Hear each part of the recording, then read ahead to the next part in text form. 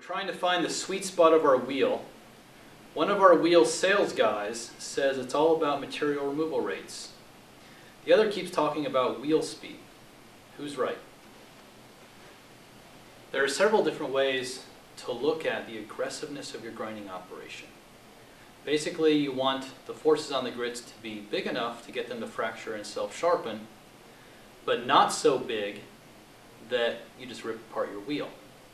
Some people use material removal rate, and they say, oh, higher material removal rate means more aggressive grinding, therefore you'll have a sharper wheel. It's only sort of true. Some people say, oh, it's about the wheel speed. You know, slow down your wheel speed, your wheel will act softer. Well, that's sort of true too. Some people use chip thickness, some people use equivalent chip thickness.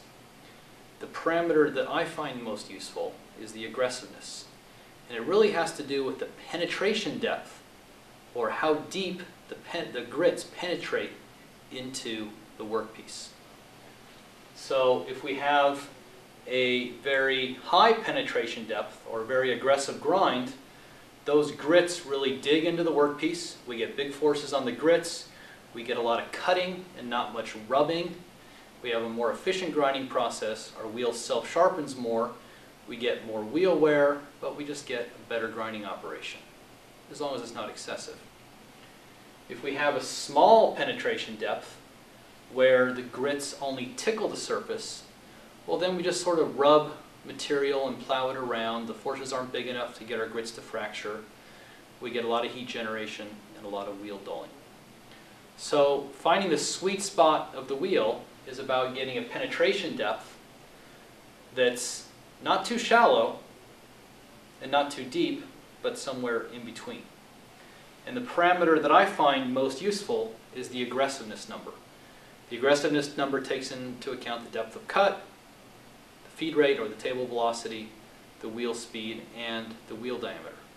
And there are two ways to calculate it. In metric, it's 16.7 times your surface speed in millimeters a minute divided by your wheel speed in meters per second times the square root of the depth of cut in millimeters divided by the wheel diameter. And the same equation just with some conversions in imperial. Now every grinding wheel is going to have an aggressiveness number that it likes. It completely depends on the grinding wheel, the coolant type, the workpiece material. So I can't tell you what aggressiveness number to use.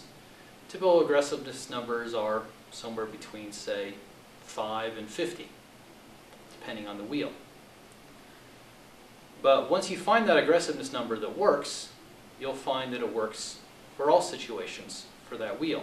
If your aggressiveness number is too low and you're not aggressive enough, your wheel's going to dull, you're going to have a lot of rubbing, a lot of heat generation, power's going to go up, chatter's going to go up, you're going to be in trouble. If you're too aggressive, the forces on the grits are going to be so large that you're going to break the bond material, rip the grits out, get very rapid wheel wear. If your aggressiveness number is just right, you're going to find the sweet spot of the wheel. You're going to cut a lot, remove material very efficiently. You're going to get some self-sharpening of the wheel, some wheel wear, but not too much, and you'll get a good cutting operation. That's the place you want to be. So you're going to have to play around with the aggressiveness numbers that work well for your particular wheel. For example, if I'm using a ceramic grit wheel, I've found aggressiveness numbers of somewhere around 15 to 20 work well. So if I get in a grinding operation and we look at their grinding parameters and they've got an aggressiveness number of 3, I'll say, okay, you've got a ceramic grit wheel. I may not know the details of that ceramic grit wheel, but 3 is way too low. Or if I get on that grinding operation and they've got an aggressiveness number of 50, I'll say, well, you're using a ceramic grit wheel. It might be a Norton SG, it might be a Cubitron, it might be a TG, it might be something else but 50 is just way too high. I want to be somewhere in the ballpark of 15 to 20. So this technique I've found has worked miracles in terms of once you get the aggressiveness number that works well for your wheel, use it, and boom, you can choose grinding primers immediately that'll put you in the ballpark or very close to that sweet spot for that wheel.